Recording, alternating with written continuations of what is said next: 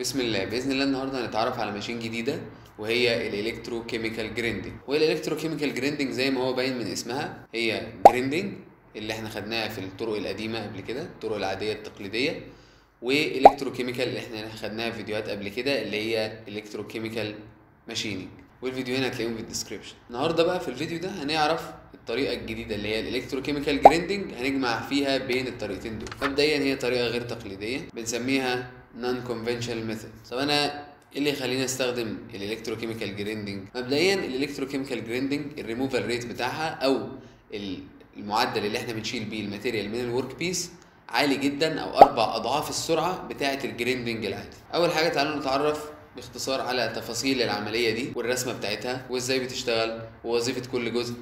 وال applications بتاعتها وأخيرا المميزات والعيوب. وبستخدمها عشان أصنع إيه؟ اللي هي ال application ال ECG ليها مصطلحات تانية عشان لو قابلتك في أي حتة. electrolytic grinding أو anodic machining تعالى دلوقتي بقى نشوف ال construction بتاع ال electrochemical grinding وإزاي بتشتغل؟ أول حاجة تعالوا نبدأ بال workpiece اللي هي أهم حاجة عندنا واللي إحنا بنعمل كل ال machining ده عشان نطلع في الآخر بال workpiece أو الشكل اللي إحنا عايزينه. طبعا عندنا ال workpiece متوصلة بالجزء ال positive بتاع ال power supply زي أغلب ال machines والجزء ال negative متوصل بال sleeve طب ال sleeve ده عبارة عن إيه؟ ال sleeve ده ليه فايدة وحيده وإن هو بيوصل ال electric energy من ال power supply لل grinding wheel طب إيه بقى هي ال grinding wheel زي ما قلنا في البداية هنلاقي إن ال tool هنا شكلها مختلف شوية وهي عبارة عن طارة wheel يعني كاوتش ال grinding wheel دي معمولة من مادة عازلة زي ال diamond وده بيسبب عندي مشكلة وهنشوفها في ال disadvantages إن هو هتبقى التكلفة بتاعه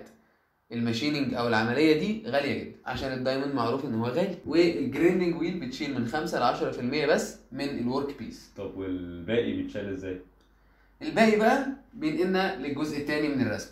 بنلاقي إن ما عندنا هنا محلول الكتروليتي موجود في ال tank يبقى ده ال electrolyte tank بيبدأ إن ال pump زي ما قلنا في فيديوهات قبل كده إن ال pump ده هو عبارة عن موتور فبيسحب ال electrolyte ويعديه على الفلتر طب الفلتر ده فايدته إيه؟ إن هو بينقي المحلول الإلكتروليتي من الشوائب.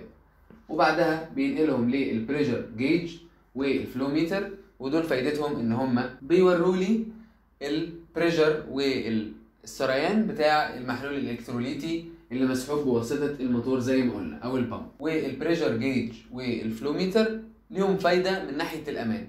وإن هو لو لو أي حاجة فيهم تعدت ال safety value أو الحد المسموح بيبدأ إن ال operator اللي موجود جواهم بيقفل.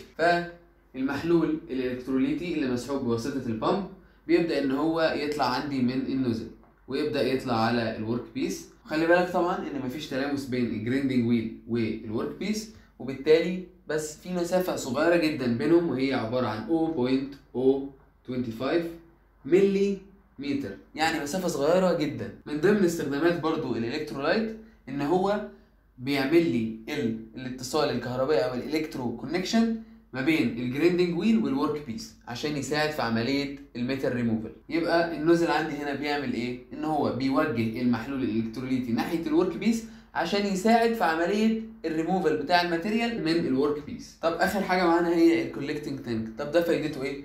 إن إحنا وإحنا بنطلع المحلول الإلكتروليتي من ال nozzle اللي ما بينزلش على ال workpiece ببدأ إن أنا أجمعه في tank لاستخدامات بعد كده. آخر حاجة معايا إن ال grinding wheel دي بقدر أحركها في الاتجاه اللي أنا عايزه ومش ثابتة معايا. ودلوقتي هتعرف على المميزات اللي ممكن تخليني أستخدم ال electrochemical grinding زي ما شفنا في ال working إن التلامس بين ال workpiece وال wheel قليل جدا وده بيديني دقة عالية جدا. من ضمن المميزات عندنا في ال electrochemical grinding لما اخلص machining على ال workpiece بقدر إن أنا أحصل على surface finish جميل قوي ومن ضمن المميزات برضو إن مفيش أي ضغوطات داخلية بتتكون في ال workpiece أقدر أعمل grinding بسهولة لل material الصلبة جدا. من المميزات بتاعتي إن أنا أقدر أحصل على حواف كويسة ونظيفة. طب إيه العيوب اللي ممكن تخليني ما استخدمش ال electrochemical grinding لأن ال material بتاعتنا لازم تكون موصل جيد للكهرباء. وبالتالي لو أنا عايز أعمل عملية ال machining ل material مش موصل جيد للكهرباء فبالتالي مش هعرف أعمل لها. وبرده من ضمن العيوب إن الإنتاجية عندي في ال machining دي بتكون قليلة جدا والميتال ريموفال ريت بتاعها قليل جدا. يعني